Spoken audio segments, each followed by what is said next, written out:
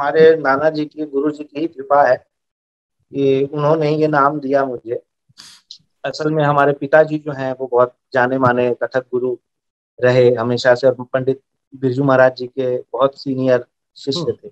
हम्म, पंडित विजय शंकर हम्म, वो academy awardee भी थे और अभी दो तीन साल पहले हाल में ही उनका देहांत हुआ। तो उनका नाम विजय शंकर था तो पिताजी के, के नाम से मिलाने के लिए क्योंकि कवि बहुत अच्छे थे गुरुजी जो थे नाना जी तो नाम से मिलाने के लिए वो बहुत से नाम जो थे उस जमाने में उदय शंकर रवि शंकर अजय शंकर तो नाम होते हैं ऐसे। तो वो विजय शंकर से मिलाने के लिए उन्हें क्या समझ में आया कि सबसे अलग नाम होगा तो शुभ तो शुभ शंकर ऐसे जाता था। तो वो हाई स्कूल तक था मेरा नाम। वो तब तक था। फिर उसके बाद कुछ ऐसी परिस्थिति आई कि मेरे चेक्स बहुत गलत बनने लगे। कभी शुभंकर, कभी शिव शंकर कभी वो। और प्रोग्राम्स करने जब स्टार्ट हो गया तो हमारे गुरु जी की ही, उन्हीं की इजाज़त थी और उन्हीं की हुक्म हुआ, खुद से बोले, ये तुम शंकर हटा लो अब। अब तुम तबला बजाते हो और हमारे साथ रहते हो। तो अब हमारे हिसाब से इस चीज़ को आगे बढ़ाओ। एक उनके मन में ये बात भी थी कि उनके घर में जो है पुत्र तो हैं लेकिन पोते की जगह पे अभी कोई नहीं है। हम्म, तो हम्म, वो just to carry on the surname for that reason उन्होंने कहा कि शुभ महाराज तुम लिखा करो। तो उसमें वाकई वो नाम भी मुझे सूट किया और बाद में मुझे चेक वेक भी सब ठीक आने लगा। तो फिर 2004 ऑनवर्ड्स फिर वो ऐसे हो गया।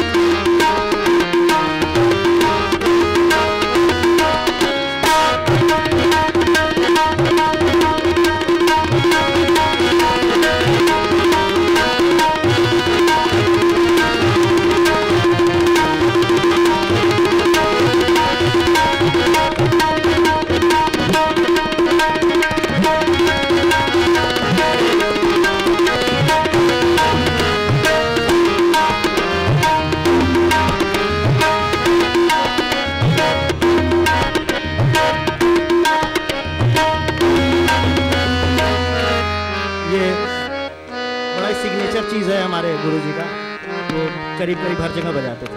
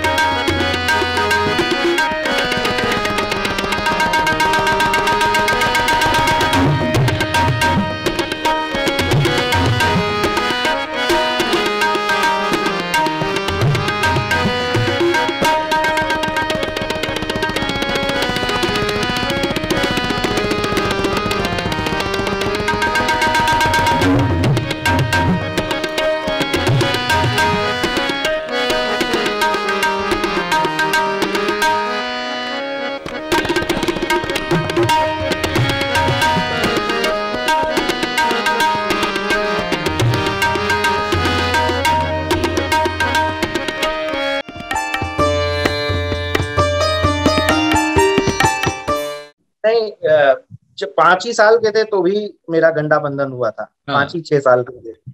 तो बचपन से ही लेकिन रहते हम बनारस में ही थे। हम्म, शुरू से। हम्म। एक साल की उम्र से रहते हम नाना नानी के ही साथ थे। तो आ, हमारे पिताजी थोड़ा अलग विचार के व्यक्ति थे और बड़े विचारवान व्यक्ति थे ज़्यादा बात नहीं करते थे। लेकिन चुपचाप खामोशी से और बड़े ही विचारशील आदमी थे। हम्म। तो उनसे बाद में मैंने पूछा कि ये क्यों ऐसा क्यों किया आपने बचपन में? तो उनका ये कहना था कि कोई भी इंस्ट्रूमेंट या कोई विधा जब आप चुनते हैं तो उसका गुरु ढूंढना बहुत दिक्कत होती है। हम्म। और अच्छे गुरु के बिना एक चीज़ सीखा नहीं जा सकता। ऐसा नहीं है कि छोटे मोटे गुरु के पास सीखे तो काम हो जाएगा मतलब ये विद्या ऐसी है कि कई बार कई जन्म लग जाते हैं अच्छा गुरु मिलने में। एक दो जन्म तक तो देखते सुनते निकल जाता है इंसान कभी जाके दो तीन जन्म में एक सही अच्छे गुरु मिलते हैं जो सही हाथ पकड़ के ले जाए तो ये बहुत बड़ी एक दिक्कत है इस हम्म। कला के साथ कि इस कला को आप जैसे मुझे बांसुरी सीखने का मन है तो मैं ऐसे ही किसी से भी नहीं बांसुरी सीख सकता गाना सीखना है तो ऐसे ही उस विधा के सबसे बड़े गुरु को ढूंढना और पहचानना और जाना उनके पास हम्म। और वो फिर वहाँ से असली यात्रा तो वहाँ से शुरू होगी। तो यात्रा शुरू ही नहीं हो सकती जब तक गुरु ना। तो उनका ये कहना था कि जब घर में एक ऐसा गुरु मौजूद है जिससे दुनिया से लोग आके तबला सीखते हैं तो तुम डांस सीख के क्या करो? दूसरा उनके पर्सनल जीवन में अपने जीवन में उनको गुरु ढूँढने के लिए बहुत बहुत मशक्कत करनी पड़ी। तो वो हैदराबाद से थे और वहाँ पे उस जमाने में नॉर्थ का डांस कथक डांस वगैरह मेंटेन करना तो वो बहुत मुश्किल बात था। तो वहाँ से वो कथक डांस को सोचते हुए और फिर धीरे धीरे दिल्ली आए और फिर दिल्ली में उन्होंने महाराज जी के पास सीखा और फिर कलकत्ता में काम किया तो उनका कोई गॉडफादर नहीं था। हम्म। तो वो पूरा शुरू से तो इस वजह से उन्होंने मुझे बोला कि नहीं तब अगर ऐसे गुरु हैं घर में है तो बेवकूफ़ी होगी कि कुछ और सीखो। तो सिर्फ़ तबला सीखो। ये बात और थी कि अगर मेरा शायद मन ना लगता पाँच, छह साल, आठ साल जाते जाते तो शायद मैं फिर किसी और विधा में जाता, फिर अलग बात थी, लेकिन प्रायोरिटी पे सबसे ऊपर जो कहा जाता है, और ईश्वर की कृपा थी कि दिल लग गया और जिनको, जिनके पास भेजा, उनसे बेहतर गुरु उस युग में कोई हो ही नहीं सकता था। तो बस फिर यात्रा शुरू हो गई।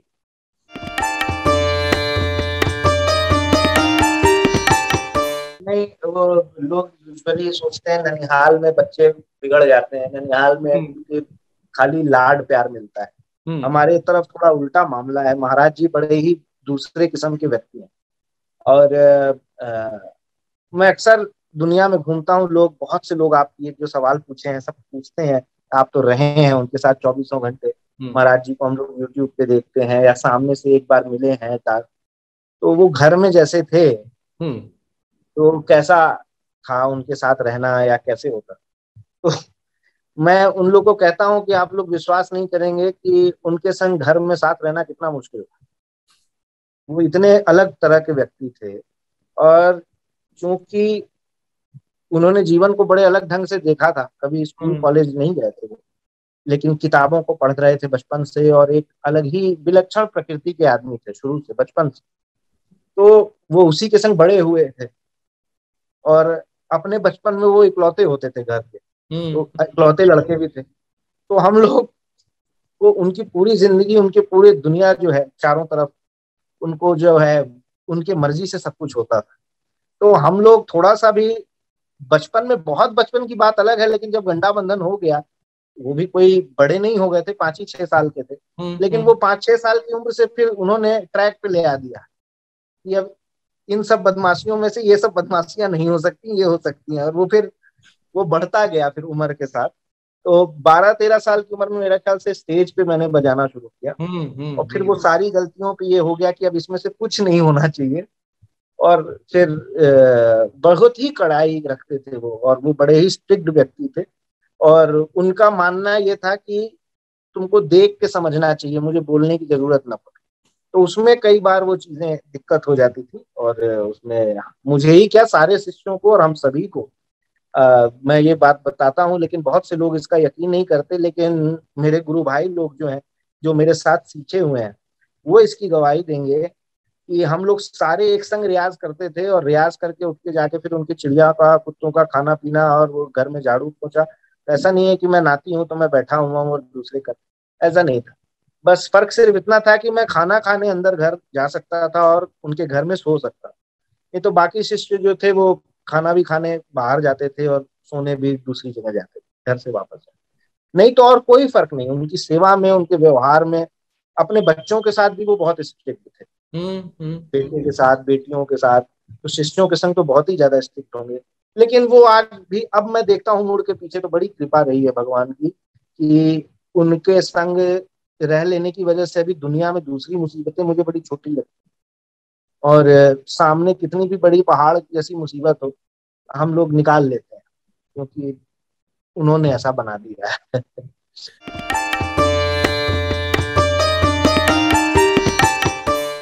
नहीं वैसे तो मेरा जब कार्यक्रम शुरू हुआ तो शुरू के तीन चार छह कार्यक्रम में वो हमेशा साथी थे। हम्म। और उसमें वो एकदम शुरू के एक दो दो तीन कार्यक्रम में वो मंच पर भी बैठ गए मेरे साथ। तो ऐसा भी हुआ। लेकिन उससे पहले जो है छह महीने पहले से मुझे ये पता था कि भाई मुझे कार्यक्रम बजाना है और मंच पे ये बैठेंगे साथ में। तो उस हिसाब से हमारी ट्रेनिंग भी चल रही थी। तो मुझे थोड़ा सा वो प्रैक्टिस हो गई थी उनके साथ बैठने की और उनको आ, उनसे उनके बगल में बैठ के थोड़ा बजा लेने की हिम्मत करने की।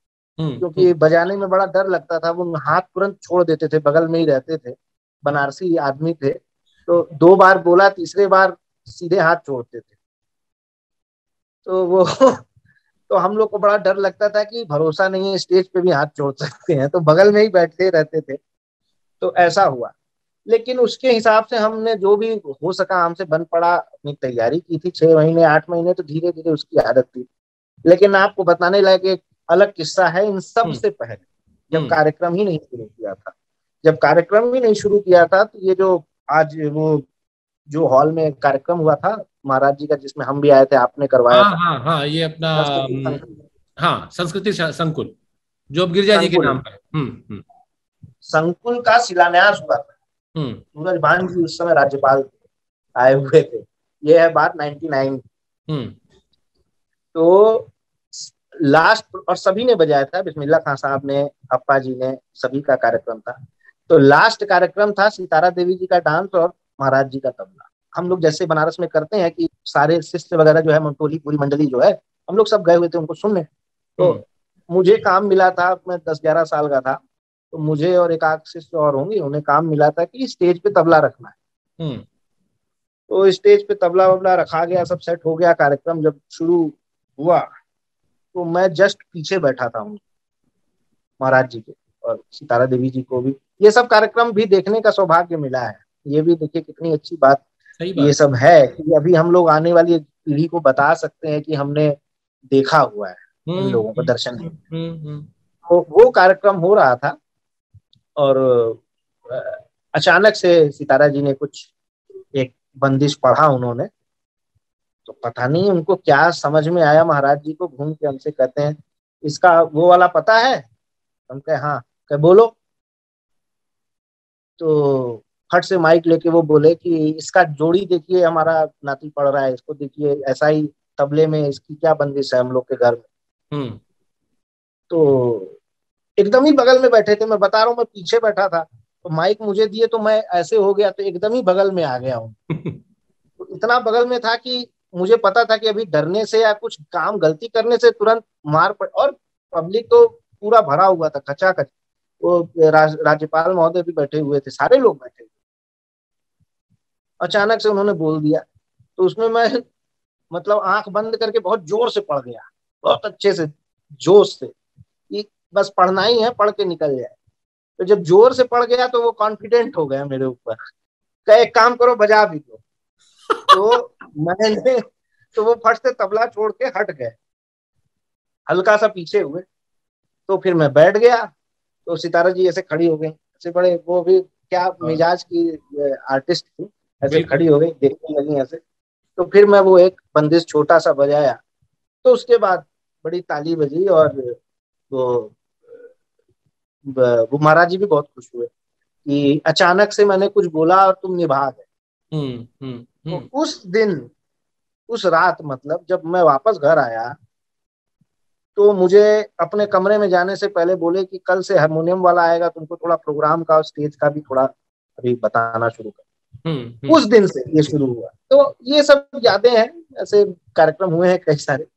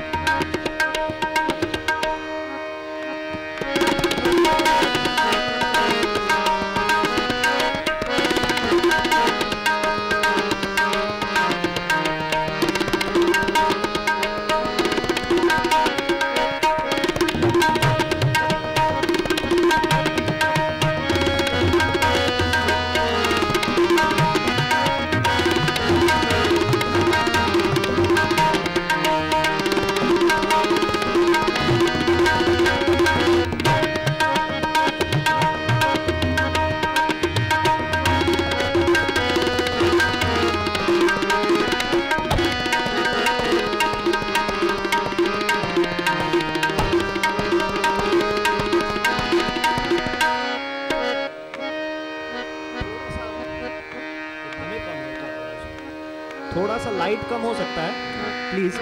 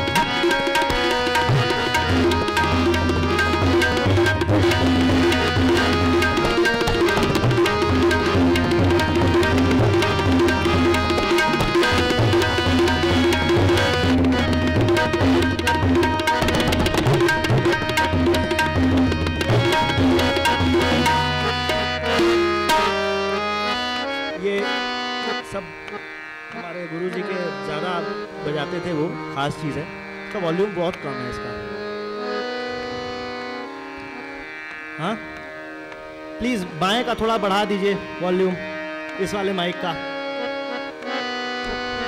सही पसीना निकला तो जाने, निकल जाए बजाओ बजाओ नाद का जो उद्गम है, वो भगवान शिव के डमरू से हुआ है और हम, ये बाबा विश्वनाथ की नगरी है। तो तबले और पखावज में डमरू का भी अंश है। तो ये हमारे गुरु जी के बजाने की चीज़ है। और दादा गुरु के भी बजाने की चीज़ है तो ये मैं थोड़ा कोशिश कर रहा हूँ।